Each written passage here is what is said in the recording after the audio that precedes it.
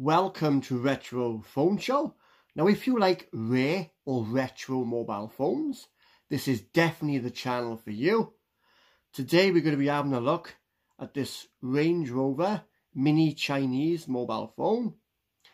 I think the model number is 88888. So what are we waiting for? Here we go!